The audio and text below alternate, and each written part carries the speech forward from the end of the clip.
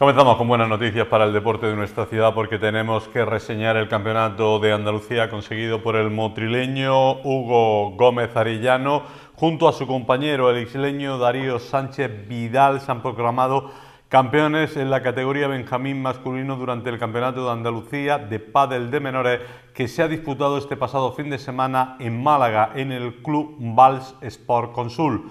El equipo de Hugo Gómez partía como claro favorito y consiguieron ganar con autoridad a la pareja formada por Guillermo Salas y Ramón Aguilar por 6-0-6-3. Con esta victoria se convierten en la pareja número uno del ranking andaluz en su categoría y la número dos a nivel nacional.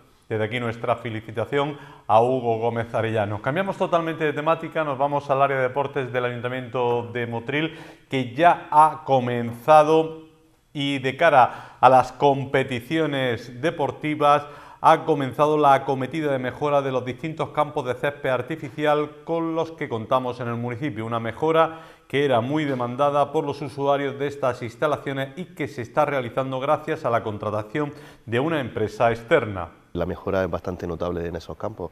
Eh, campos que ahora mismo los que utilizan esos campos dicen que están eh, bajo mínimo van a pegar un cambio, por lo menos para que nos dé un margen a nosotros de crear un ahorro para poder hacerle un cambio o buscar alguna subvención para que esos campos pues, vuelvan a tener césped, de, nuevo.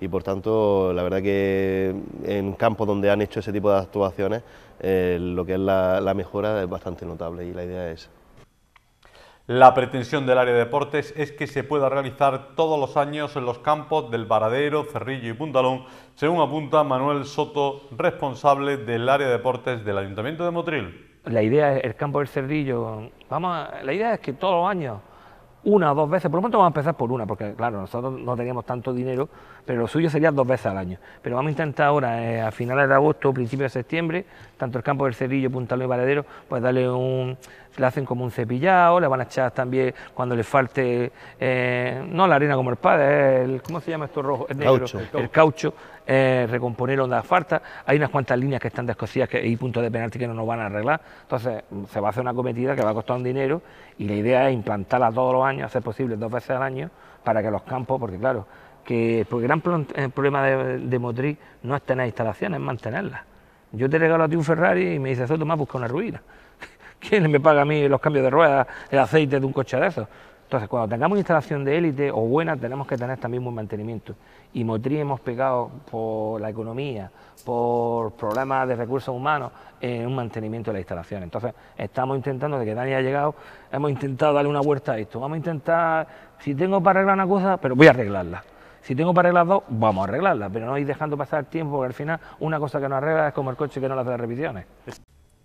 Y ahora nos vamos al fútbol, al Motril Club de Fútbol, concretamente porque uno de sus capitanes, Javi Gadea, piensa que el equipo va a llegar en buenas condiciones para el partido del próximo domingo frente al Palo a las 6 de la tarde en el Escribano Castilla, uno de los equipos más fuertes de la presente temporada. Para ello considera que han hecho una buena pretemporada que ha servido para rodar a todos los jugadores y para ir incorporando al equipo a los recién llegados a la primera plantilla del equipo. Bueno, bien, la pretemporada ya sabe que son para ir cogiendo sensaciones, el equipo está trabajando, estamos intentando estar lo mejor posible para el inicio de liga. ¿Cómo ve el equipo?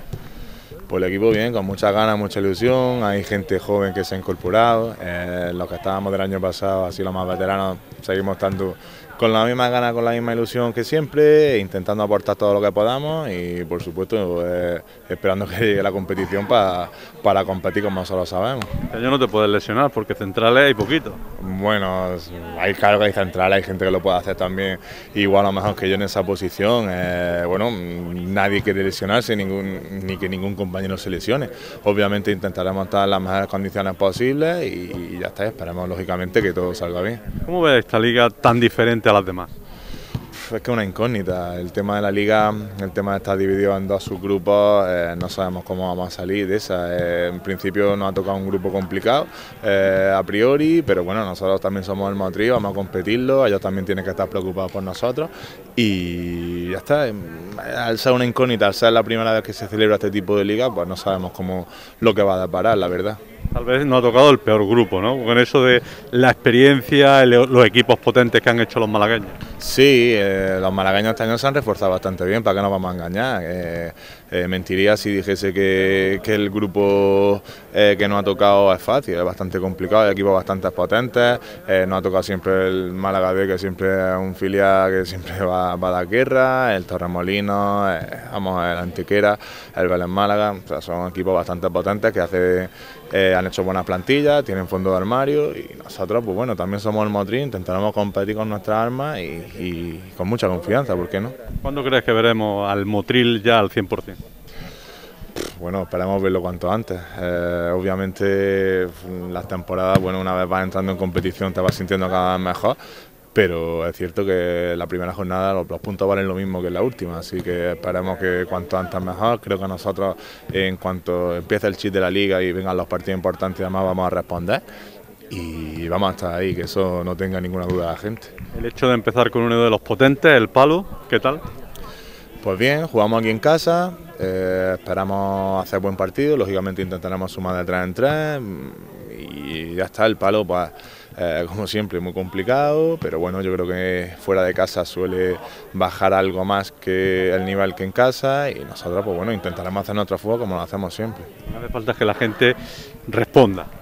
Sí, la gente el, el, tema que siempre hablamos, la gente ojalá que responda, la gente ojalá que esté al lado del equipo, que generemos ilusión, que, que vengan a ver el fútbol que hacemos. Ya el año pasado, pues bueno, sí que es verdad que necesitamos muchos momentos el apoyo de la gente, Esperemos que este año, a pesar de las circunstancias en las que estamos y demás, pues la gente siempre se anime y venga a, su motriz, que intentamos hacer buen fútbol, intentamos dejarlo todo en el campo y que obviamente pues eh, esta última temporada el motriz lleva haciendo bastantes buenos partidos y quedando bastante bien en la clasificación. Y vamos a descender de categoría, nos vamos a la primera división andaluza que ya conoce la composición del grupo de cara a la próxima temporada, una temporada que se va a iniciar concretamente el 25 de octubre con la participación de 19 equipos de la provincia, de ellos 4 de la costa. Hay que reseñar que esta primera división andaluza se encuentra dividida en dos grupos y los de la costa están en el A. En esta categoría se contará con cuatro formaciones de la costa tropical, concretamente el Puerto de Motril, Juventud Sexitana, Almuñécar City y Cultural Asaco, que se encuentran integrados en el grupo A junto a Lotura, Churriana, Cuyarvega, Durcal y Gavia, mientras que en el grupo B estará el Atlético Monachil, Medina Lausa, Ciudad de Baza, Atlético Lazubia, Innayó, Salar, Águilas de Zujaira, Alfacar, Purullena y Colomera. El sistema de competición se formula al igual que en las categorías superiores de la Real Federación Andaluza de Fútbol, con dos grupos principales en los que los primeros clasificados pasan a un tercer subgrupo para jugarse el título igual en la cola de la tabla para evitar el descenso. Esto en una liga regular que termina en marzo y que no tenía previsto jugar en tres semanas ni tampoco en días festivos para que estos puedan utilizarse en caso de tener que parar una jornada por el hipotético confinamiento de una población o debido a que un equipo no pueda armar una convocatoria por un brote interno equipos que ya han comenzado a funcionar y que están preparando con optimismo el inicio de la liga. Es el caso del Cultural Asaco, que el pasado fin de semana se enfrentaba en el campo del Cerrillo al equipo de la Academia del Club de Fútbol Motril, o Motril B, al que consiguió ganar por el resultado de 2 a 1 en un partido típico de pretemporada que los técnicos de ambos equipos aprovecharon para realizar diferentes pruebas y darle minutos a la práctica totalidad de los componentes de la plantilla. Un encuentro que se decidió en los últimos minutos. Para los entrenadores del equipo del Cultural Asaco es un proyecto ilusionante el jugar en primera andaluza y han formado un equipo compuesto de jugadores que provienen de las categorías juveniles, además de componentes del Club Deportivo Puntalón que consiguió el ascenso y algunos veteranos que han querido incorporar al equipo, según apuntaba Daniel Pérez Juárez. Eh, tenemos un equipo, hemos hecho un equipo bastante compensado. hemos traído jugadores veteranos del Puntalón, con otros muy jóvenes. Hemos subido juveniles de la SACO, que a nuestro entender iban a dar el salto y lo van a dar bien, van a aportar muchísimo. Hemos recuperado jugadores de Motriz que ya estaban, entre comillas, retirados y han querido meterse en el proyecto y creo que van a ser muy, muy buenos jugadores para este equipo por su veteranía, por su experiencia y porque tienen muchísimo fútbol. Y bueno, a ver cómo va la temporada, a ver si el COVID nos permite nos permite seguir y bueno, a ver, con mucha ilusión por el club y por los jugadores. Por su parte, Daniel Ortega reseña que va a ser una temporada muy ilusionante y en el que se espera seguir disfrutando de este deporte. Pues mucha ilusión en el trabajo y el objetivo básicamente es hacer que todo el que venga al campo del Cerrillo, pues bueno, el Cerrillo vuelva a, tener, si nos dejan tardes de, de, mucho fútbol, de muchas emociones y que el que venga aquí, pues su entrenador lleve toda la semana preocupado de cómo meterle mano a, la saco y porque sabe que viene a, sufrir muchísimo para puntuar aquí.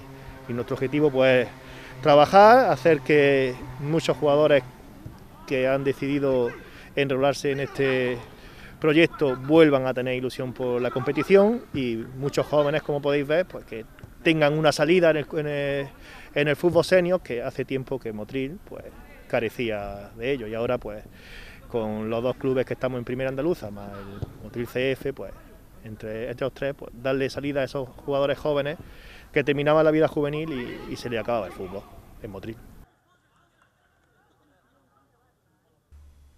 Pues desde aquí le tenemos que desear mucha suerte a esos cuatro equipos de la costa tropical, Cultural Asaco, El Puerto, Juventud Sexitana y Almuñécar City. Nosotros mañana volvemos con más actualidad del mundo del deporte aquí en la Radio Televisión Municipal Motrileña, aquí en Telemotril. Que ustedes lo pasen bien. Hasta luego.